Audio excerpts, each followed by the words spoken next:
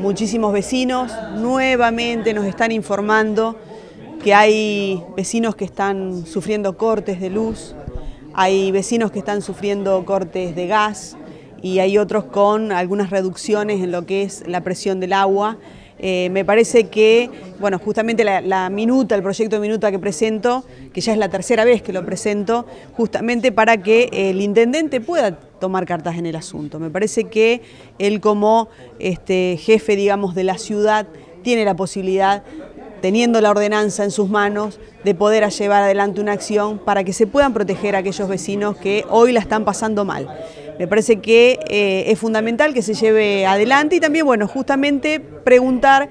es todo un informe acerca de qué está pasando con la planta reguladora de gas, en donde ya hace siete años los vecinos, todos los vecinos firmatenses, llevamos adelante el pago de esas nueve cuotas y hoy la planta no está terminada. Año tras año escuchamos lo mismo, que falta, que hay un porcentaje. Bueno, estoy pidiendo un informe al respecto.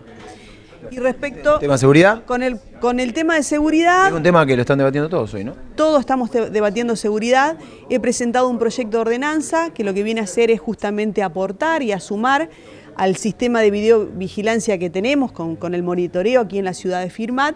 en donde darle la posibilidad eh, a aquellos vecinos que poseen cámaras de seguridad privada, aquellas instituciones eh, bancarias, colegios, los clubes que poseen ya las cámaras, que puedan este, de la línea de edificación hacia afuera, lo que es la vía pública, que puedan incorporarlo al sistema de monitoreo, de manera tal que este, haya, más opciones. haya más opciones, justamente, pedir también, dar la posibilidad de, eh, tener un abanico, digamos, de, estadísticas, no solamente cuáles son las cámaras de seguridad las que están instaladas, sino eh, brindar a la ciudad una mayor cobertura con los elementos que ya tenemos, darle también a la posibilidad a aquellos vecinos que quieran nuclearse para poder este, adquirir una cámara y volcarla a la ciudad, que también así sea, siempre con una contraprestación en donde, este, con una reducción de un porcentaje determinado en la tasa, de manera tal que haya un ida y vuelta entre todos los vecinos de Firmat y el sistema de videovigilancia que seguramente hoy sabemos que tiene sus falencias porque evidentemente